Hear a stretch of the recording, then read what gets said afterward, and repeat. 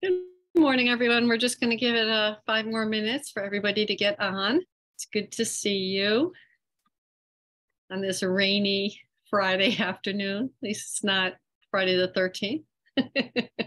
Actually, Friday the 13th is a lucky day.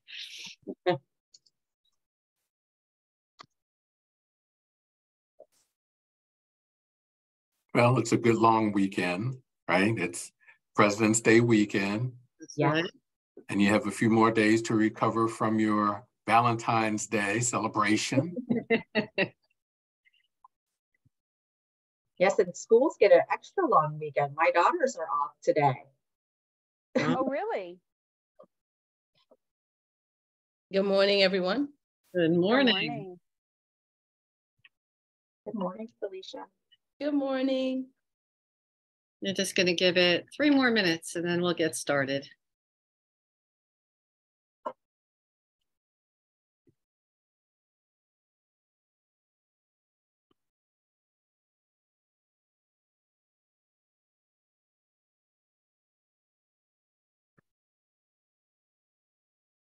I'm glad you're all here. It's wonderful information, and you're all going to love what you're going to hear.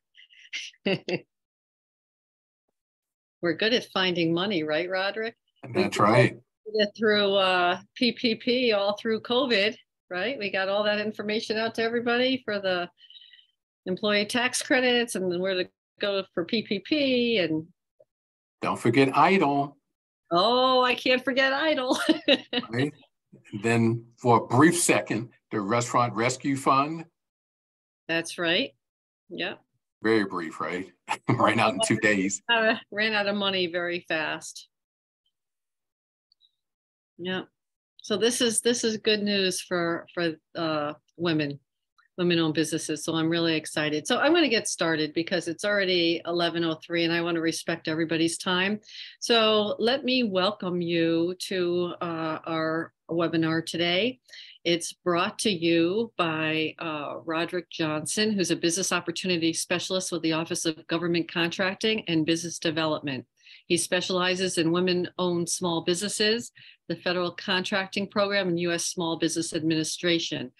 And also, um, after Roderick's presentation, um, I'm going to introduce you to uh, Danette Nguyen from the Maryland Women Business Center, and she's going to have a brief presentation, and then we are going to open it up for questions and answers. Okay, so if you have any questions as we go, please put them in the chat. We are recording this webinar, so uh, I'm going to turn it right over to you, Roderick. All right, thank you. Good morning, everyone. My name is Rod Johnson. I am a business opportunity specialist with the Office of Government Contracting and Business Development at the SBA headquarters in Washington, D.C. Now, I'll give you a little bit about, about my background. Actually, I spent about 32 years in corporate, middle market, and small business lending, um, all here in the DMV. And then I moved over to the SBA. Um, and actually, this is my fourth role um, in five years at the SBA.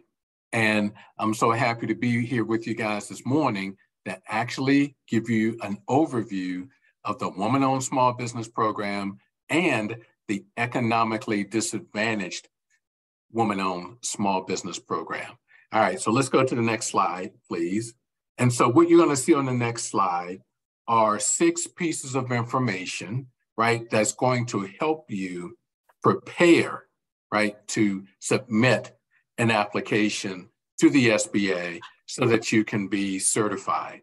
Now, what you see here, wosby.certify.sba.gov, please write that down or burn it into your brain because that, that is going to be very important to you throughout the process, okay? So on the homepage, once it comes up, then you're gonna have access to checklists that provide guidance prior to you applying. You're going to be able to verify your eligibility. Um, and let me talk about that for just a second. All right, so the ver- so, so the eligibility. 51% of the company has to be female owned. Okay. You had to be a US citizen. Those two are easy. And then the the firm has to be managed and controlled by a female. There are no financial statements required for the woman-owned small business certification.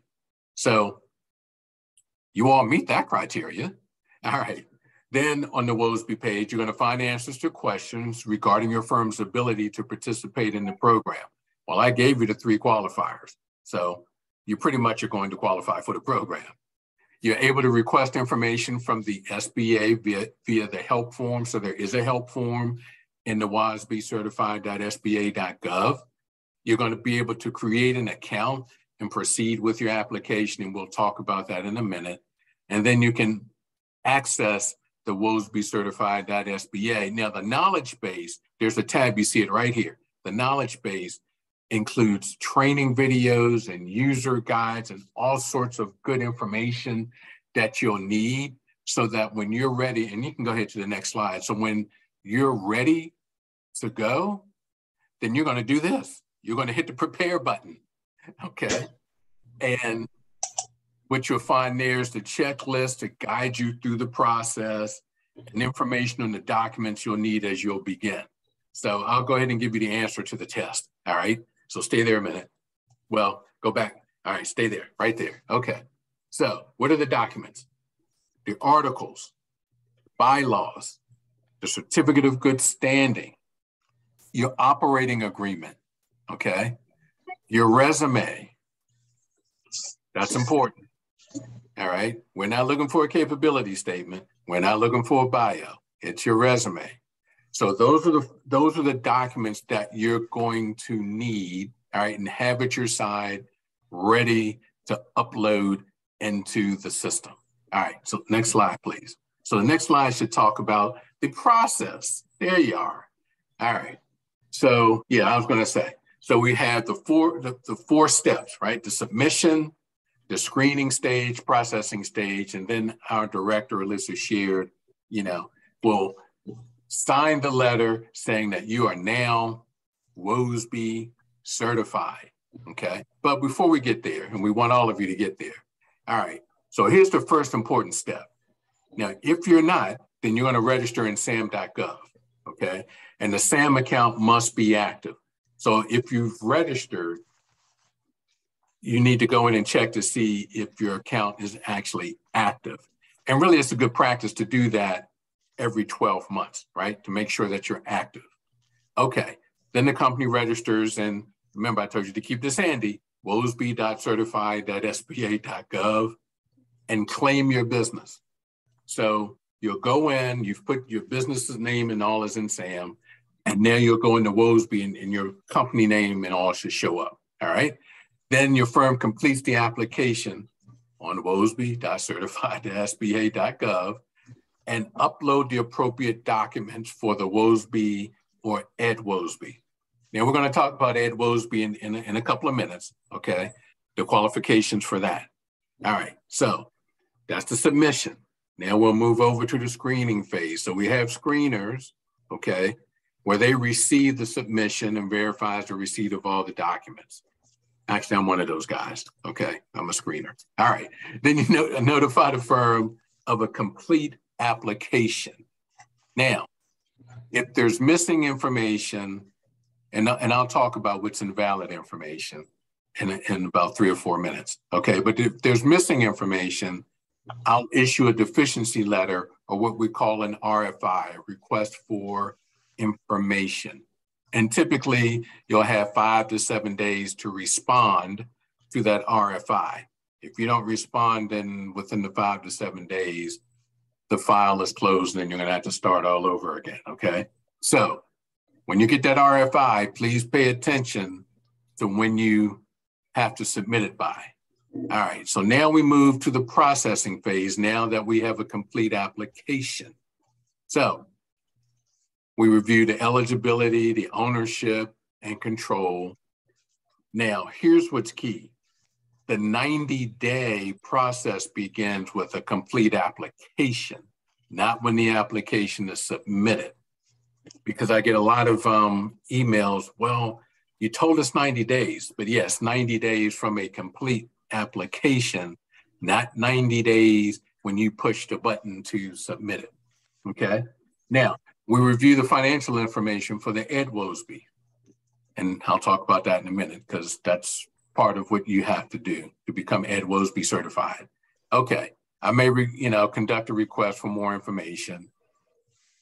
Then the final recommendation is submitted or recommended, I should say. And then you're listed in the database system where the contracting officers can go in and see your company. All right. So that's the processing phase. Then we move over to the director decision. And she, yes, she will make the final decision to approve or deny. A letter is issued and signed and dated to you guys. And then that marks the official date of entry into the WOSB program. So you don't really get a certificate. That letter, if you will, is the is your license. That's your physical, tangible piece of evidence that you're in the program. But you'll move from pending, where you were in the processing phase, to now accepted in the database system. All right, so your firm will show up if a con- when the contracting officer goes and looks for your company. Okay, so next slide, please. All right, so as you see, um, you have Wosby and Ed Wosby. Now, from a strategic standpoint, right, for these set aside contracts, let's look at this. So there's going to be less competition for the Ed Wosby set asides than there is for the Wosbys, right? You're going to be competing against more, you know, women-owned business for the Wosby contract, okay? And so as it says here, the Wos- Ed Wosby is a subset of Wosby. As such, if you qualify as an Ed Wosby, you automatically qualify as a Wosby. Now, um, this is Rod's opinion. This is not the SBA's official position. So Rod says, I would just qualify for, I would just apply for the Ed Wosby, right? Because if you if if you qualify for that, then you're going to automatically qualify for the Wosby. Okay, and we'll give you the criteria for the Ed Wosby, and it's simple. All right. So the industry specific NAICS codes for Wosby and Ed Wosby are listed um, in this URL.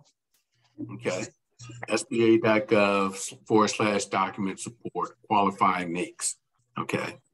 And all the NAICS codes for the Wosby and Wosby will come up for you. And hopefully your business is in one of those NAICS codes. All right, let's go to the next slide. All right, so is the Wosby certification appropriate for you? Well, I'm telling you here and now, yes. Okay, because there's you have women or you have 51% ownership. You manage the daily operations of the business.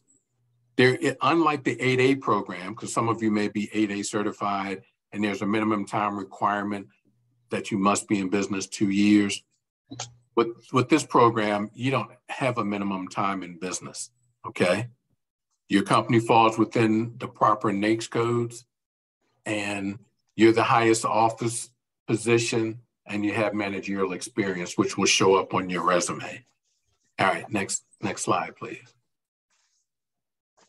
And later we'll get into the top three reasons why your application slows down, okay, or is rejected. But now we're going to talk about the Ed Wosby qualifications, which I think the majority of women will qualify for Ed Wosby.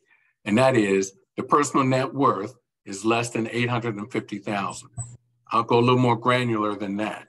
Okay, so you get to back out your government TSP, your 401k, your 403b, your Roth, all those um, assets that you have in retirement accounts, you get to back that out.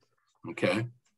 Two, three year average income of 400,000 or less.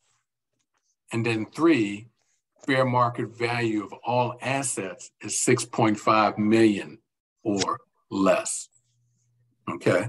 So I would think that a lot of women owned businesses meet the criteria for the economically disadvantaged woman owned small business.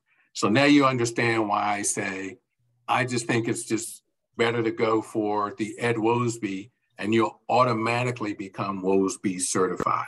Okay. All right, next slide, please.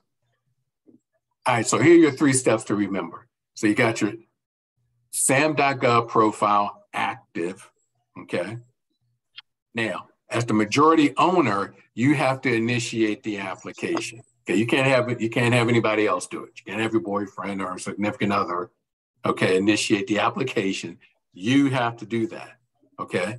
You have to review the list of required documents under the prepare tab, but I've given them to you. But you have this prepare tab on wosb.certified.sba.gov to go to, right, to tell you what the documents are that you need to submit. All right. Next slide, please. Now, I will say, yeah. So, what I will say is what I'm hearing is, oh, the process takes a long time. Well, when I then kind of dig in and I say, well, did you have all the documents ready to go so that you could go ahead and upload them in the system? Then I get no. All right. So please have all your documents right there, ready to go. And it will take you no time to get those documents uploaded and into the system over for us to actually um, to review and move, move you through each phase of the four phases that I just talked about a minute ago. All right, so getting started. So again, you're gonna register in the SAM system, right? So your firm must have an active SAM registration, ensure your firm has been accurately updated the last 12 months, okay? And your SAM.gov registration should be set for the purposes of all awards, not limited to loans and grants. You're going to create your SBA account, right? So you're going to need to go into login.gov accounts to use the WOSB.certify. And be sure to enter the same email address into your SBA Connect profile. Okay. Now, when you list someone as a delegate, because you can't have a delegate, in SBA Connect, you will be asked to provide an email address for them. Well, make sure it's the same email address that you put in the system. And you must enter the firm owner's legal name into the SBA Connect file. See, that's the other thing. This is the other thing that slows down the process. So your name is Elizabeth, but you put in Beth or you put in Lizzie. No, it's Elizabeth, Elizabeth Montgomery. Okay, not Elizabeth or not Lizzie. Okay, you got to put in your full legal name into the SBA Connect profile. All right, so now you're going to go in and you're going to claim your business at the WOSB dot certify, right? Because all these systems talk to each other. All right, so you'll be asked to enter your firm's either UEI, EIN, or MPIN from SAM, right? Those things are generated in SAM.gov to claim your business and begin your WOSB Federal Contract Program application. Because now you're ready, you have all your documents there. All right, the majority women business owner or other designated woman business owner must claim the business. Okay. So that's important. When creating your SBA Connect account, individual contributors must use the same email address that was used by the primary owner to claim the business in SAM. So you may have a delegate or an or a contributor as they're calling it all right. Just make sure that they use the same email address. All right, next slide, please. So here are the common reasons. Remember a couple of minutes ago, I said there are three common, three or four common reasons for return of an application or request for more information. Missing the, the articles of incorporation. And remember at the top of that, at the top of the presentation, I said articles, bylaw, certificate of good standing, operating agreement, okay? But having said that, the articles of incorporation still need are still the number one reason why the application gets returned. So let's like this, let's not have that. Okay. Let's not have that. The second reason, the governing documents are not properly executed. Okay. So if you have an operating agreement for your LLC, just ensure that the document is signed and dated by all members at the time the document is submitted. If you have a C corporation please submit the bylaws, right? Or a copy of the minutes of the meeting during which the bylaws were adopted. So each of these documents must be signed by the relevant parties and dated, typically the officers of the company, right? All right, and then an incomplete resume. Now this one's shocking to me because most of us at some point in time have done a resume. But guess what the number one, and, and it is the one, the one, number one bullet point. The name is not on the resume. Okay. The name is your name is not on the resume. All right. Then number two, the work history. Well, please include your your applicant firm in chronological order that includes the start and end date, including the present date where applicable. Then we see resumes where there's no title or positions or what you even did. Okay. So please put that in or you'll be receiving an RFI and it slows down your, you know, your application for being um, approved. And then education and licenses. That's important. If you're a cosmetologist, then you have a license. You had to get licensed to be a cosmetologist. Okay, so we need to know your education and your licenses. If you're a CPA, you know, we, you know, we need to know that you hopefully um, have an undergraduate in, in accounting and maybe a master's degree in tax. Well, we need to know that. All right. And so those are the three things that are very important. Now, if you have outside employment, because this comes up a lot, or ownership, please include a letter of explanation to include the business hours of the applicant firm, the days of the week and hours of the day dedicated to your firm, and the days of the week and hours of the day dedicated to the outside employment or ownership. Okay. So this is one thing, and, and it's kind of nuts, but this is one thing that we saw. So a person says that they work for McDonald's from 8 to 5, 8 a.m. to 5 p.m. They've purchased a McDonald's franchise and they're saying that they work 8 to 5 in their own franchise. Well, no, you can't be at two places at the same time, right? So if you worked at McDonald's, right, you're still employed at, at McDonald's and you're a manager at McDonald's, okay, in Fairfax, and you work 8 to 5, Okay, that's fine. But then you may go to your franchise, your franchise McDonald's, okay, and you may be one of those McDonald's, let's just say it's a 24 hour McDonald's and the drive through is the only thing that's open. Okay, so you may, you might work at that McDonald's from let's just say 6 p.m. Um, I don't know when you're gonna sleep, but we'll, we'll just say from 6, 6 p.m. to maybe 3 or 4 a.m. Okay, well, we need to know specifically with outside employment how much time you're actually putting in at your business, and how much time you're dedicating to, I'll call it your nine to five job. All right. We see, we will kick it back if we think that you're not, you know, really managing your business. Okay. All right. Next slide, please. So here is help. Okay. You have help. And these are the four, okay. These are the four third-party certifiers. All right. Now, we're going to hear from the Women's Business Center and actually refer um, women over to the Women Business Center to get assistance because some, you know, sometimes you need assistance pulling documents together and everything. But here are the SB approved third-party certifiers. And I'm circling and underlining the word certifiers. Okay. So you have the El Paso Hispanic Chamber of Commerce, the National Women Business Owners Corporation, the U.S. Women's Chamber of Commerce, and the Women's Business Enterprise National Council. Okay, so those are your third party certifiers. All right, next slide, please. So there are all sorts of training resources for you all out there. Um, so you have your document preparation checklist for, for Wosby and Ed Wosby.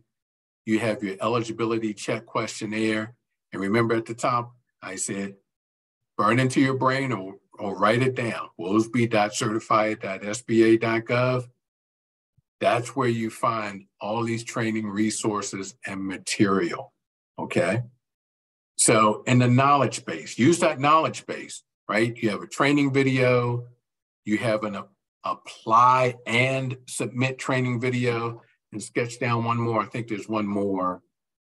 Um, yeah, and then the applicant user guide. Okay. So use the resources. Go ahead to the next slide, please. Use the resources that are out there that we have for you. Now, we list here three um, addresses or URLs. So you have SBA.gov, WOSB Ready. The one that reaches us or, or someone like me is WOSB Training at SBA.gov. And typically we'll answer whatever question you have within 48 hours. Um, yeah, 48, 72 hours around there. Okay. Because since it's a national um, program, we're getting, you know, questions constantly. All right. So it, it give us a couple of days and we'll, we'll come back to you. And for a technical help request for beta.certified.sba.gov, that can be submitted via the help tab at the WOSB Certify SBA.gov. All right, so that's all I have for you. And I think, um, oh, the helpful hints. Excuse me. I guess this one is important. All right. And it actually it is. Please monitor your emails because remember I was talking about requests for information. Yeah, please uh, monitor your emails so as not to miss important deadlines, updates, or requests from the WOSB team. Upload when uploading your documents, please only upload PDFs and please ensure that they're not password protected. Okay, because we get a lot of password protected PDFs. Make sure they're not password protected. Okay. Please note that our average processing time from receipt of application to rendering a decision is 121 days. I can tell you it doesn't really have to take that long if you've prepared at the beginning, right? And you have all the documents right there and you're ready to go, then it won't take 121 days. Usually what's included is that 121 days is the back and forth and answering the RFIs, okay? And that's why it takes so long. Now, if you don't hear from us in 30 to 45 days, it doesn't necessarily mean that that there's an issue with your application. Okay, we may have gotten a ton of applications, you know, over the weekend, and so now we have to sort through sort through those and um, you know make it and process them and, and make a decision. Now, I think I said it earlier. So we might send you a request for information, you and I think I said you will, and you'll have five to seven days to respond, and make sure to note that due date bolded in the letter, okay? So please make sure you, you recognize that date so that you can get the requested information in and we can continue to process the application, okay? And so that's it. And so Marjo, we're gonna go right into the Women's Business Center. Yes, we are. So thank you very much for that information. And now let me introduce you to Danette Nguyen.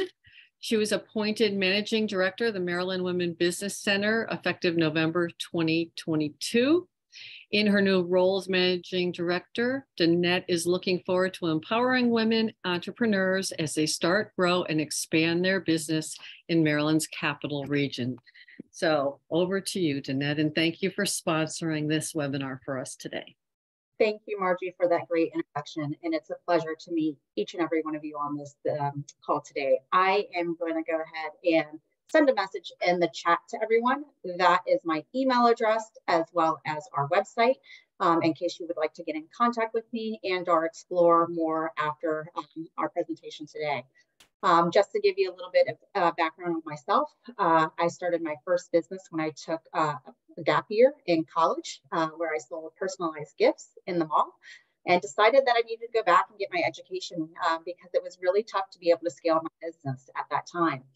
Um, from there, I decided, you know, I really love economic development and I pursued economic development. And, uh, I, and with economic development, I really looked at the small business community and grants to help the small business community. And most recently worked in Fairfax City, where I was the Deputy Director of Economic Development. Uh, the Maryland Women's Business Center is a program of the Rockville Economic Development Incorporated and is a collection of resources with a focus on women, inspiring uh, aspiring entrepreneurs, and current business owner in Maryland's capital region. I actually have a presentation. I should probably put that up. Give me one second. I apologize. Can everyone see that? Yes. Wonderful. Um, we strive to provide access and equitable opportunities to women, entrepreneurs, and underserved populations in Maryland that seek to launch and grow their business see if it will turn the page for me. There we go. So that's what I just spoke about. Our mission and vision is some of you might say, well, why a women's business center? Well, women often start businesses different from men. We run them differently, we learn differently, and we participate more actively among other women. That is why our mission is to empower small businesses and women entrepreneurs to launch and grow in the Maryland capital region for long term growth. Um, we seek to level the playing field for women entrepreneurs who still face unique obstacles and position Maryland as a recognized leader for growing and launching successful and innovative women owned business. And we do that through our key values, which include collaboration, um, empowerment, expertise, inclusivity, and innovation. Now, annually, we help more than 1,500 women gain the skills, connections, and confidence necessary to navigate entrepreneurship. And we do this through the operation of three locations to include Montgomery County, Frederick County, um, and the Bowie State University, uh, which encompasses not only the university community, but also Prince George's County and the city of Bowie. I did forget to mention that within our Montgomery County office, we also service the city of Rockville. At each of these training um, centers, uh, what you'll find is our trained business and professional consultants that provide guidance on a variety of topics. So here is our team. Our team includes some of the most highly experienced and knowledgeable, professionals, and it's comprised of business professionals that have the tools, the knowledge, tenure, and network to help you achieve your business goals. Additionally, I want to call out that our services are free and confidential. So what are some of the services you may say that we provide? Uh, we provide business assessment and consulting. Uh, we offer both one-on-one counseling on a variety of topics to include business plan development, market research strategy, strategies, licensing and permitting information. Um, along with our in-office counseling services, the Maryland Women's Business Center also offers clients the ability to receive assistance via online or real-time chat if that's more um, uh, as that fits your calendar uh, more appropriately. We also do a number of networking opportunities. Our networking opportunities are designed to not only expand your network, but also encourage community building. Um, workshops and training. So we provide a, a, variety of workshops and courses that are covered towards aspiring entrepreneurs and business owners on topics such as starting a business, branding, local procurement, and local procurement, just to name a few oh, my battery's running low. I apologize. Mm. I'm not sure why that came on. Let me see if I can connect a little bit more. Um, and then finally, access to capital. We help identify how and when to access the right amount of financing for your business. We, we are connected to economic development agencies and tapped into local grant opportunities, such as the Verizon Business Digital Ready program. And I've included a, a QR code there if you want to scan that. And this program offers free resources and tech tools to power your business in the digital age. And there's also a grant opportunity for small businesses valued at $10,000. Um, you do have to complete a number of trainings, but I wanted to make sure that you had that information available to you. And that's just one of the resources that we have. And finally, we have specialized programs, including our Shop Local Retail Incubator and our Child Incubator uh, which create a launch pad for startup and early stage businesses as they grow and brand their customer base. And then here we have a connect with us. This QR code here goes directly to our website. We encourage you to follow us at Maryland WBC on uh, LinkedIn, Instagram, and Twitter. And that phone number is our main line there. Um, but as I said, I included my information in the chat, so please do feel free to contact me directly as well. And I'm going to go ahead and stop sharing and take any questions. All right, thank you so much, both of you. Um, can I have your slide deck so I can uh, send this out to everyone? Rod, do you mind if I send your slide deck out as well? You can send it out.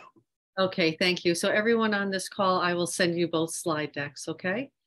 Um, so if you have any questions, can you either put it in the chat or raise your hand? And now's your chance to get all your questions answered. I have one question, Rod.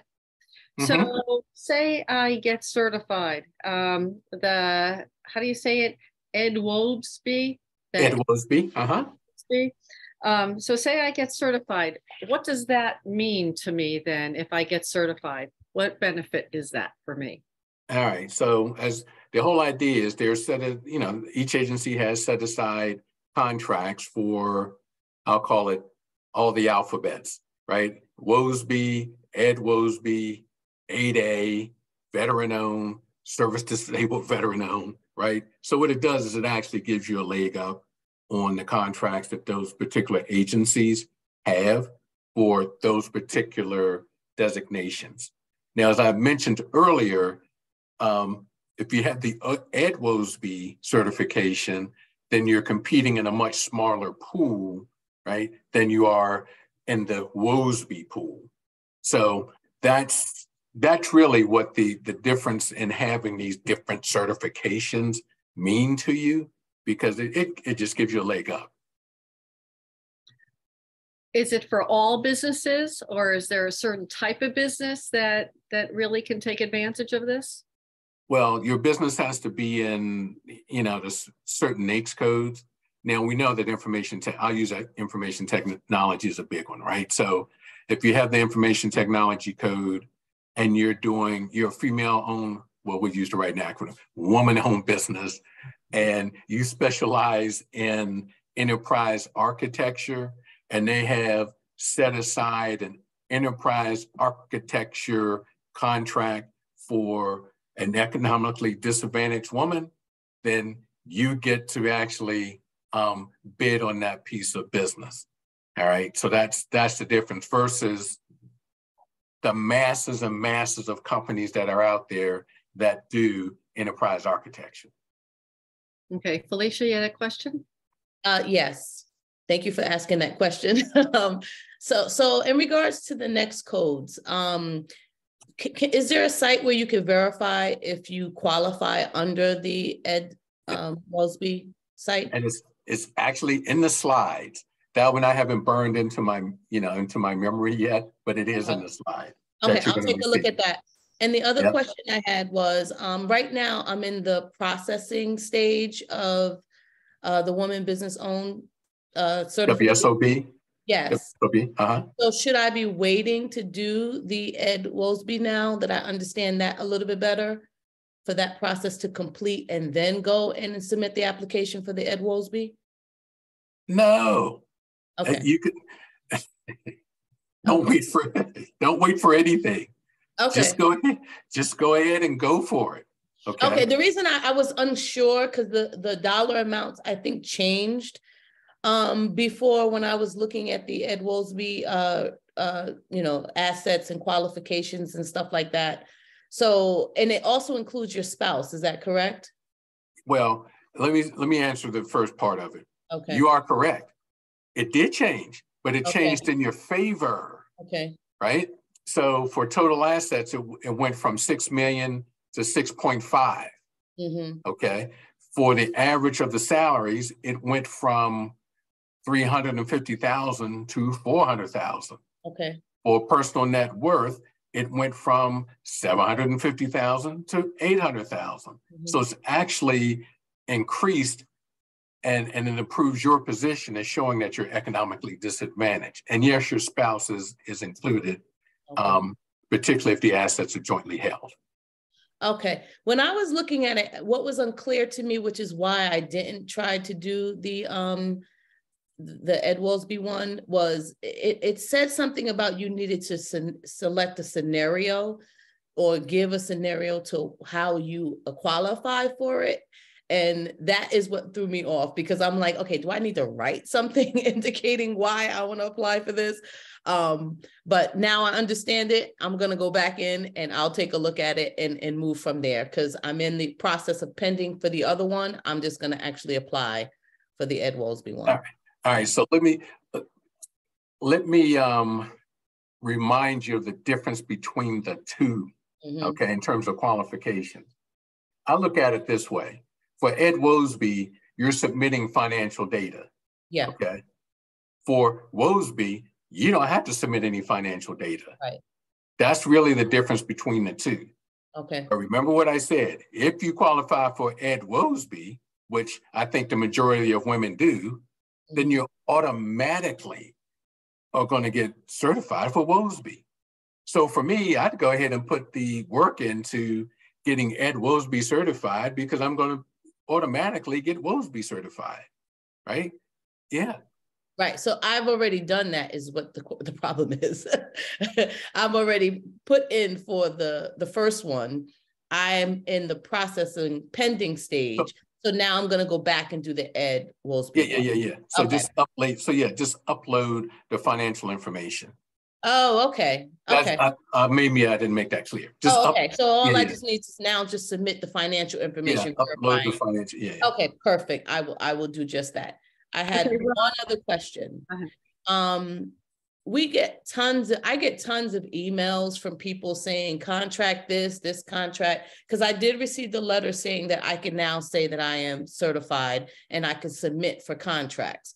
But I get so many emails from different people saying, oh, I can assist you with contracts. And I don't know which one's legit, which Mhm. one's not legit.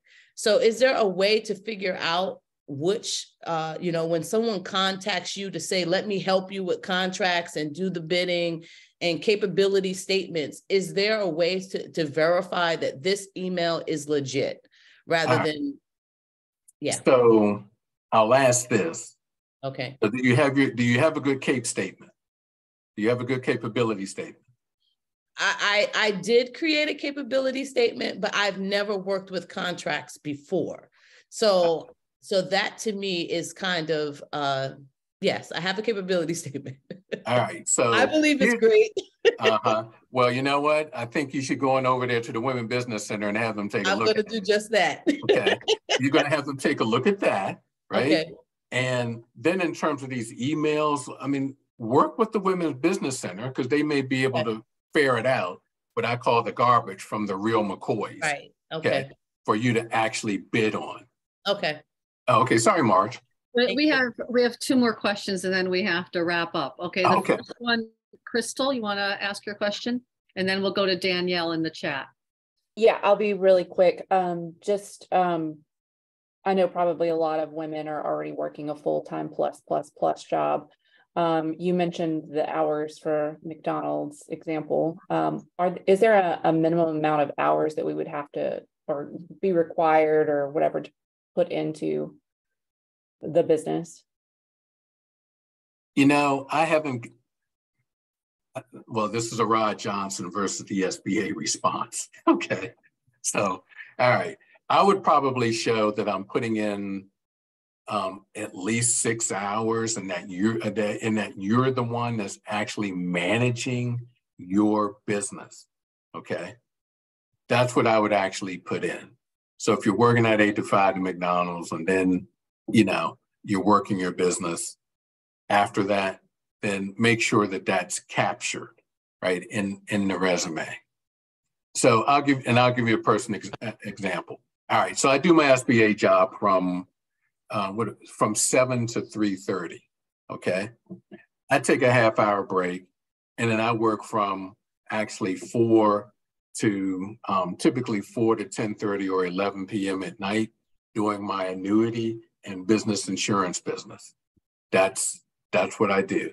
So if I, so if I were in your shoes, that's what I would put down. From four to eleven PM, I'm working my annuity and insurance business. And that, okay? So that hopefully that helps you. Sure. And of course, I'm managing it, right? I'm managing and running it, doing all those other things. So that's what I would put in, in the resume. Gotcha. Okay. Okay, and last question, uh, Danielle, do you want to ask it or do you want us to read it out of the chat? I can ask it. Give me one sec. I'm putting my, I'm having Okay, issues yeah. with my video, so my apologies. Um, can you see me okay? Yes. Okay. Um, I heard about something called um, the Women's Business Enterprise. Um, and it's through the Women's Business Enterprise National Council. Um, I've heard about their certification, but I'm kind of not quite sure what would be the benefits of the SBA certification opposed to this other certification. And if I went through the other certification, um, from what I saw in your presentation, it probably wouldn't get me approved for the SBA certification, but I, I just wanted to see if you had any knowledge on that.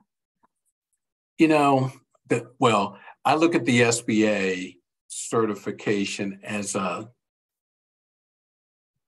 as a validation, if you will, because now if you if you've noticed, the SBA has become the conduit for getting veterans because we just took over the program from the Veterans Administration to certify veterans and save and um, service disabled veterans.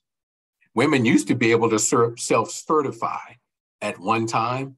Well, now um, government agencies want wanted the SBA to be able to take women through a process to get certified, so they know that it's, if you will, le- legit. Okay. Yeah. And then you have the 8A program. And so now it just seems like if you're SBA certified, it's kind of like the gold standard. Okay. For for contracting. Now the WBE and maybe Marge, you you could maybe add something to that, but I can tell you that the certification from the SBA typically will will serve as that that qualifier that okay, you you're legitimate to be able to um, bid on these contracts. So you want to jump in, Marge on the WBE? Well, I personally was uh, a Women Business Enterprise National Council certified. I was one back 20 years ago, and I was selling high end hydrotherapy tubs and infrared saunas to hotels worldwide. And no one bought any of my products. So it was almost like a waste for me to go through that certification um, when I didn't know that they wouldn't be buying it. You know, they told me, "Oh, go get this certification. You know, you'll you'll be able to go after all these things." For, but for what I was selling at the time, it it wasn't worth it, and it was like going through worse than a tax audit. What what, they what they were asking for. Just that's my personal experience. So I like, uh, I didn't know about um, what Rod's saying about this program. You know, we're talking 20 years ago. So I would go through uh, the SBA before I would go through the WBENC. But maybe uh, Danette, you can talk more on that. I would say as well, and what we are seeing in the market, the SBA certification is the leading certification in terms of this, um, in terms of women ownership. And um, we are also seeing a number of clients come in requesting even more information on how to have this uh, certification done. But this is what we are seeing as the, the leader in this field as well. If you have this certificate, I mean, I know that ideally, if you're uh, women owned, you go after government contracts like with the DoD or something like that. But um, have you noticed private entities or you know companies regard this as well? So, all right. So what I've what I have heard is, and I've heard it from a couple of companies now, if a female or a veteran have gone through the certification process with the SBA, then again, it it, it seems like there's more legitimacy put to having that certification through the SBA, even in private industry, right?